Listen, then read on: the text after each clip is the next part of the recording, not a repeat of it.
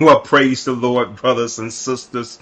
The hour is upon us. God has granted us yet again another opportunity to gather in this virtual sanctuary. Tonight, I'm so grateful that you are here. And because you are here, God is here. There's nothing that can separate us from his presence. So tonight, wherever you are, I want you to fully understand that the presence of the Lord is with you.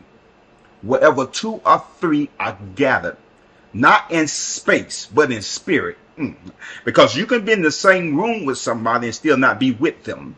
But because we're on the same accord, we with one mind, wherever two or three are gathered together in his name, there he is in the midst of us. God is not separated by the digital space. He's an all consuming God. Wherever there is space, He's in it. and I need to say this to you. I'm not, whatever you're in, God is in. You're not in a struggle by yourself. God is in the struggle with you. You're not in difficult circumstances or difficult situations by yourself. God is in there with you. You're not going to in the doctor office by yourself or God goes with you. You don't go through the valley by yourself. The shepherd is with you. You're not celebrating on the mountain by yourself. As a matter of fact, it is He who's lifting your hands. Um, so whether you are in the valley, God is with you. Whether you're on the mountaintop, God is with you. If you're in between the mountain and the valley, God is with you. He fills all spaces. Hmm, he fills the space. Um, I want to tell that to somebody before we pray tonight. God is about to fill the space. Wherever that emptiness been in your heart, wherever there's been emptiness uh, in that situation, God is filling the space. I need you to believe that. I need you to believe that. I feel that in my spirit that God is filling the space. Ooh, He's so much God that he's given overflow. He's not just giving a little, he's giving more than enough. He's El Shaddai, the Almighty God Almighty, the God of multiplications. He's not just giving you one plus one, but he's giving you five times five. God is sending overflow in whatever area where there seems to be lack in your life. God cannot walk into a space where there's lack and not feel it. Oh, you need to hear that tonight. I didn't plan on going this. I'm gonna get to the. We're gonna pray and get to the text. Um, but wherever there's an emptiness or where there's lack, anytime God steps into that arena, if it's only two fish and five loaves, it, there was a lack. It wasn't enough for the people who were there. So God filled up the lack. And watch this. There was 12 baskets left uh, running over because God, when He fills a space, um, there's not enough to contain Him. Good God Almighty, help me tonight. Um, space can't contain him. Ooh, my God, let us pray. Father, we thank you tonight that we are here. And because we are here, you give, we give you all of the glory. God, we give you all of the praise. Uh, we pray tonight that you be glorified in this moment and that all your saints will be edified. Let your word stretch us now, O Lord, from center to circumference. It's in Jesus' name we do pray. Amen and amen. Amen. Welcome back again to our Thursday night Bible study. We're in our series that's entitled Word Factory. Word Factory. Last week we left off on our theme of tongue traps. Tongue traps. And we're going to pick back up on that tonight, um, if you will. Um, give a quick recap. Um, Proverbs chapter 6, verse 2 um, King James, um, King James, um, I, I, I, like King James because that's what I I grew up off of King James, and it's it's so rich in language. It's, it helps us to remember the King James language. It's very rich in, in language and um, very poetic, if you will. Uh, Proverbs 6 and 2 says, um, Thou art snared with the words of thy mouth thou art taken with the words of thy mouth. The Common English Version says, um, You have been snared by the words of your mouth, trapped by the words from your mouth. Wow. You have been snared by the words of your mouth. You've been trapped by the words that come from your mouth. Notice the difference there. You've been snared from words of, or by the words of your mouth. You've been trapped by the words from. So we got of and from. You carry words in your mouth. Ooh. And what you carry has the ability to trap you. Come on, talk to me tonight. As a matter of fact, words start wars. Words create love, but it also can choke love. Love makes people cry, it brings joy, it brings tears. Love, which is backed up by words. Words cause men and women to willingly risk their lives, risk their fortune, and to risk their honor.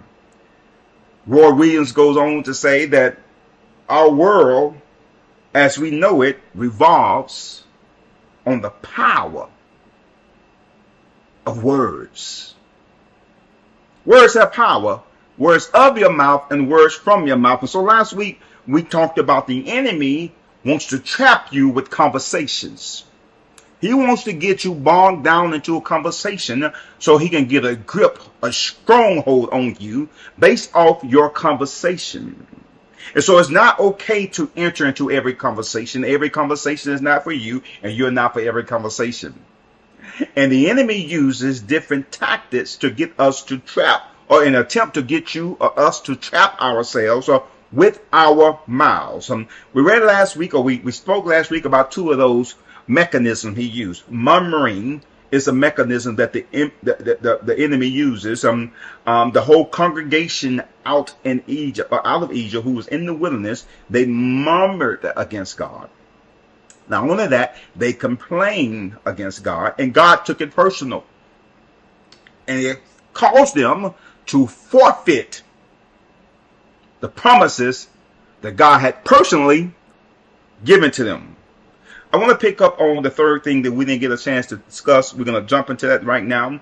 Um, the third device that the enemy used is gossiping. Ooh, gossiping, gossiping, gossiping. I, I, don't, I don't even know where to start right there. Um, gossiper, um, and is considered to be a whisperer or a talebearer. This is what the Bible uh, often refers to a gospel as a talebearer.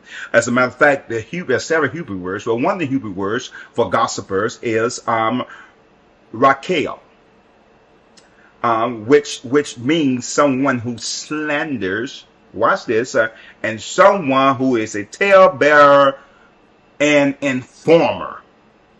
So wait a minute. Hmm. If I am an informer that means I'm working for an agency.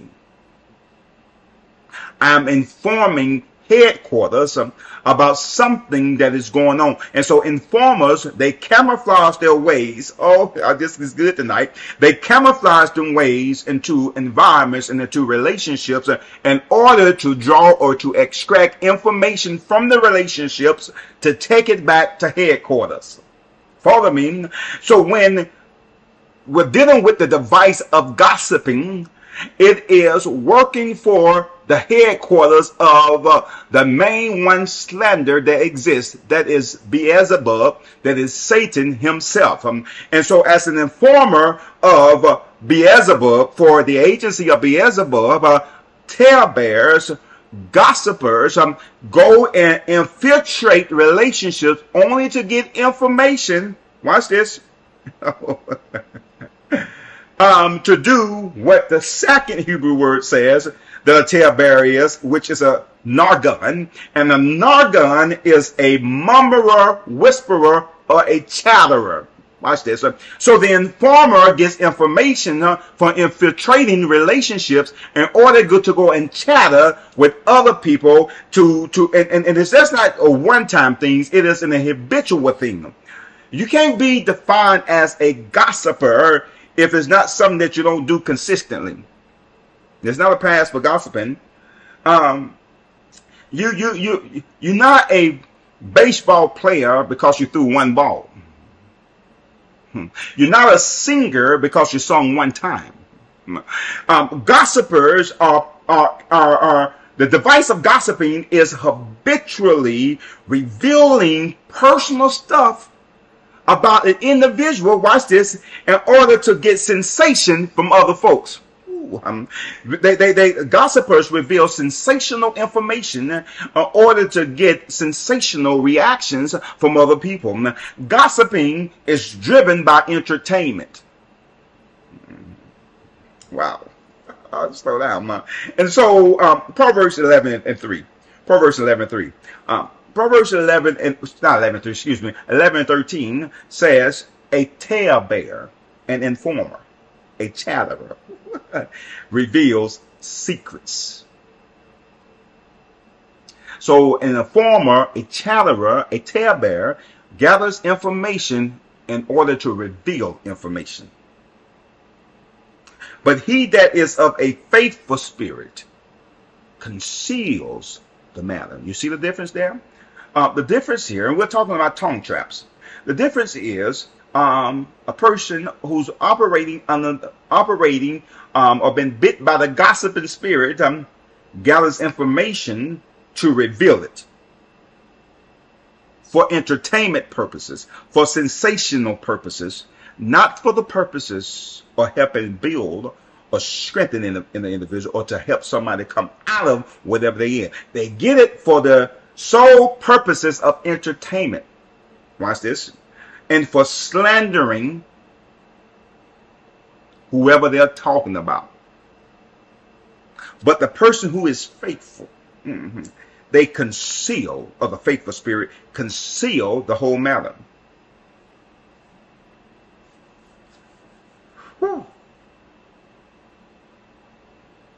And so, as believers, we ought to not voluntarily be in other people's business. Here's why.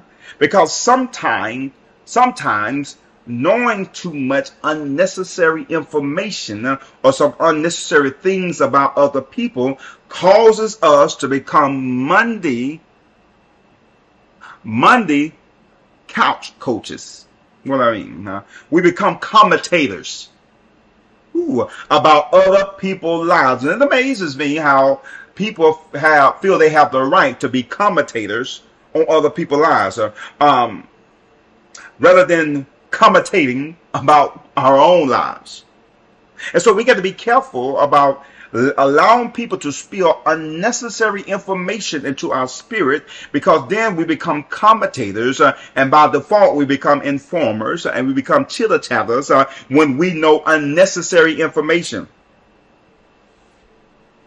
As a matter of fact, most of the stuff that people watch on TV, reality shows, is built around gossiping. Ooh. It's built around informers. It's built to entertain you. And while entertaining uh, may be sensational, it is slandering and very dangerous to the persons who are involved in such activity.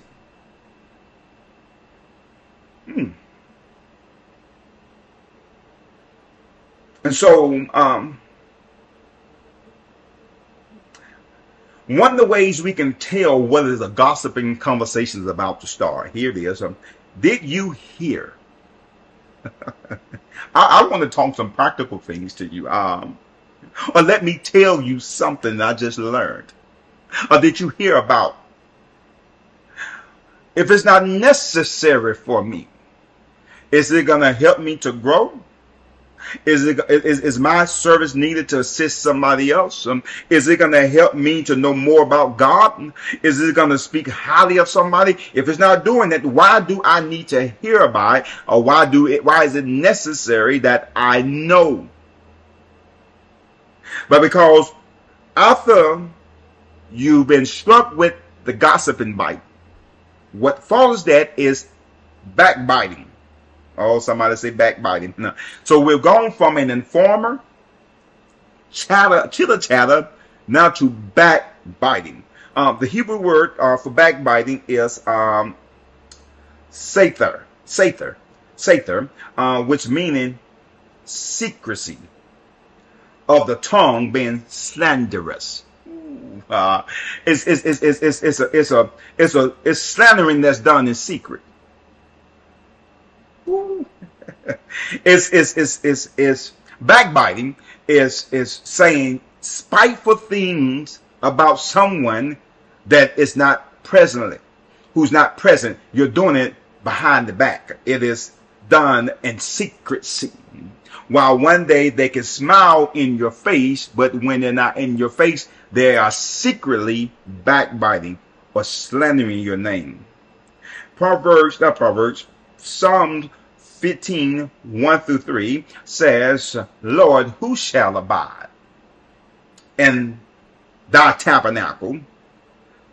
Who shall dwell in the holy hill? He that walketh uprightly and worketh righteousness and speaketh the truth in his heart.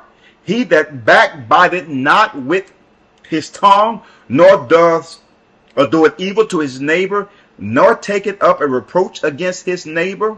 No one who likes to walk in the room, uh, no one likes to walk into a room. Watch this and the people stop talking. Oh, help me God. When you walk into the room and the people stop talking, it's only a sign that you have this word uh, present. Ooh, savor. Savor. Um, you got backbiting there. Because when you walked in the room, if the conversation wasn't about you, the conversation wouldn't stop or if the conversation wouldn't have been offensive to you, it wouldn't have stopped. Backbiting. Because usually when you are when you are the topic of the conversation, you walk into the space, the conversation stops. Wow. In, in the awkwardness of the moment. To catch people in that moment. I'm trying to keep keep us from stepping into tongue traps. Because the enemy will try to lure you into conversation. You came into the room not with intent to discuss anybody, but the enemy was sitting there with, with someone who had been stricken with the spirit of backbiting, and now they'll drag you into a conversation. Drag you behind the back into the conversation. And what as a believer, what you ought to do is that's what you feel. Well, let's go and take this to her. Let's go and take that to him because the Bible tells us if you got an out against your brother, you got out against your sister, go to your sister or your brother and privately. Watch that. Look what the scripture say. Go to them in privately. Don't talk about them privately, but go to them privately. Oh, uh, I hope you're with me tonight. Um, the next thing we have, or the tongue trap the enemy used, um, is evil speaking. The Greek word here for evil speaking is blasphemia. Blasphemy, where we get our word blasphemia, uh, which means slandering. It means detraction. Ooh, huh? Damaging someone's reputation Ooh, it, it, means to be injurious or, or to have injurious speech uh, to another's good name. Hmm. That you're making my name look bad. You're making somebody's name look bad. Um, it means to, to speak with reproach towards someone else. Ephesians 4 and 31 says this to us. It says, um, let all bitterness and wrath and anger and clamor and evil speaking be put away from you with all malice. So then, Ephesians tells us we should never use our tongues to say anything evil or blasphemous about God or about others. And see, um, we know don't blaspheme the Holy Ghost, don't blaspheme the Holy Spirit. The text is teaching us you can blaspheme other people. To speak evil of other people is blasphemous. And so while we may have not blasphemed the Holy Spirit, we have been blaspheming us towards other people. Wow. We haven't guarded our hearts and our tongues uh, and our mouths, and we have become blasphemous towards other people. Psalms 39 and 11 um, says, I said, I will guard my ways, lest I sin with my tongue. I will restrain my mouth with a muzzle while the wicked are before me. What do you mean, man? Because wicked conversations are, are, are, people who are been bitten by the wicked bug, been bitten by backbiting, been bitten by evil speaking, been bitten by murmuring and complaining, have the tendency to try to draw you into the trap. The psalmist say here, 39 verse 1 says, I will guard my ways lest I sin, not with my hands, but with my tongue. I will restrain my mouth with a muzzle. Ooh, huh? That's strong language that I know my mouth have the tendency or the itch to be able to begin to speak uh, with what the wicked is saying. So I have to muzzle myself huh? so I won't open my mouth. What did Proverbs 6 and 2 said? You are snared by the words of your mouth. You are trapped by the words from your mouth. And so this psalm is saying that my mouths are so strong and it is difficult to control, then I have to put a muzzle on that which I can't control. Uh, I got a, a, text for you, James. Uh, let's go to James right quick. And um, from there, we, uh, time is almost upon us. And I'm so grateful for your time that you're here uh, with us on this evening. James chapter 3. Um,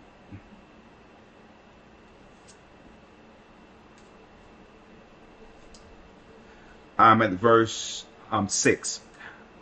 Common English verse. It says, not verse 5.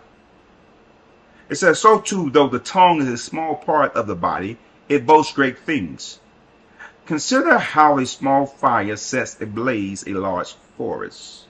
And the tongue is a fire, the tongue a world of unrighteousness, is placed among our members. It stains the whole body, sets the course of life on fire, and is itself set on fire by hell. Every kind of animal, bird, reptile, and fish is tamed and has been tamed by humankind but no one can tame the tongue. Woo. It is a restless evil full of deadly poison. With the tongue, you, you, you see this? The, the psalmist just said um, in Psalm 39 and 1 uh, they had to put a muzzle over his mouth, over his tongue, uh, while he's in the wicked presence because the wicked would draw it out of him. That, that, that, that some people have the ability to draw things out of you to get you into the trap. Verse 9 says, But with the tongue, we bless our Lord and Father. We sing hallelujah, we sing glory, we sing praises. And with the same tongue, curse people who are made in God's likeness. Now, now let, me, let me say this about curse because it's not cussing somebody out. No, this is not a permission for you to cuss somebody out. Um, it says cursing that, that, that, that, that we curse people. What is a curse? A curse is to speak evil towards somebody. It is to wish evil on somebody. And only people I know who speak curses are witches and warlocks. Tongue traps, I know this is a different Bible. It's a difficult Bible study. I, I, I don't want us to be trapped. And so to, to, to wish somebody evil is to curse somebody. You remember God says to Abraham, uh, I'm going to bless those who bless you. And I'm going to curse those who curse you. In other words, God was saying to Abraham, those who bless you, do well towards you, I'm going to do well towards them. And those who speak evil towards you, Abraham, I'm going to make happen to them uh, what they wanted to happen to you.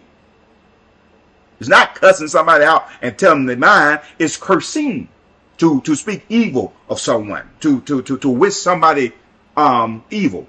Um, verse verse 10 says, Blessing and cursing come out of the same mouth. My brothers and sisters, these things should not be this way. Does a spring pour out sweet and bitter water from the same opening? Can a fig tree produce olives?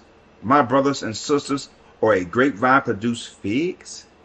Neither can a saltwater spring yield fresh water. Ooh, the tongue. The power of the tongue. Don't be ensnared by your words. Don't be trapped from the words that come out of your mouth. And I want to get through this part too to, to, to tonight. Um, if you give me one more moment, I got one more uh, to give to you. Um, Eva speaking. Um, this is the final one that we're going to be done. Outburst of wrath. It's a trap the enemy used because when people are angry, they speak differently. Watch this. Um, outbursts of wrath are sudden speech. It's violent speech or it's violent feelings. And anger, somebody say, I'm ticked off. I'm, I'm, I'm, I'm, I'm, I'm heated. And what anger does, is produces wrath. And, and, and wrath um, is demonstrated in punishment. Colossians 3 and 8 says, But now you also put off all these anger, wrath, malice, blasphemy, filthy communication out of your mouth. Notice the translation. Let, let, let me read it to you in the, in, in um, the Common English version. Notice the, the transitioning of how it builds. Um, it goes to all these things that preempt communication coming out of your mouth. Here it goes again. Colossians 3 and 8 says, But now, but now put away all the following anger, wrath, malice, slander, and filthy language from your mouth. Do not lie to one another, since you have put off the old self with its practices and have put on the new self. Last series we was in that, we was talking about that a few series ago, um, about changing your clothes. Um, he said, you, you got to change the way that you talk. And so I got to be very clear here tonight before we conclude. Um, to be very clear about our words. Because how we use our words can be sin. Why? Because sin always takes from you. Sin always make you make you uh, uh, uh, always make you or separate you from the will and the righteousness of God. And so people get into mess because of their mouths, because of their words. They get into trouble because of their tongues. And so the psalmist said, I put a muzzle on my mouth saying what I should not say. It happens in friendships. It happens in marriage. It happens at churches. It happened at work. It happened in families. It happened in public arenas and public spaces. I'm speaking right now. They have the debates going on for the president, and watch the words that are being used. People are using harmful words to get to to, to, to sensationalize the audience. They are slandering other people to make themselves look good. And God gets no glory. God ain't in that. God is not in that. God is not in any kind of slandering. He's not in it. So we got to make sure we don't yield our tongue to the enemy. We can't give the enemy our mouths. You need to keep your mouth. You're going to need your mouth for your own purpose to, to speak blessings and not cursing over a situation. The Bible says, be ye angry and do what? Sin not. Because many people are ruled by their emotions. How they feel depicts how they speak. And so when they are moved by their emotions, people then become the target ooh, uh, of their mouths. And so the devil um, brings about these issues in order for you to use your tongue as a weapon. He gets you in your emotions and tell you you ought to be upset, you ought to be angry, you ought to feel some type of way. And now he's lured you into the trap, the tongue trap, to put your mouth on somebody. Woo. I got to get out of here for the sake of time. I hope you've been blessed by watching the traps of the enemy, tongue traps. He wants to trap you in your conversation. It might sound cute right now. It might be funny right now, but it's not funny because the enemy is trying to snatch your soul away. He's an enemy of your soul. He's trying to snatch you away from God. Because when you talk the way that he wants to talk, you manifest. Remember last week we talked about your tongue is so powerful that whatever you speak, you manifest. You manifest that which you speak. He wants you to manifest this stuff. He can't bring evil into into to, to, to, to reality unless you manifest it yourself. So he drops the seed in your mouth to get you to speak it. For you've been created in God's image. God made you just like you create with words. I got to get out of here. Uh, listen, thank you for your time tonight. I'm praying for you that you come into a relationship with our Lord and Savior Jesus Christ to remove beyond just confessing, but being a true disciple. He said, go out into the world and make disciples. Discipleship is commitment, it's sacrifice. It is taking up your cross and walking with him. It's more than conversation, it's action. We're looking for disciples. Won't you allow the ministry to disciple you? You can confess him now, but you need to be discipled too. If you never confess him, say, Jesus save me.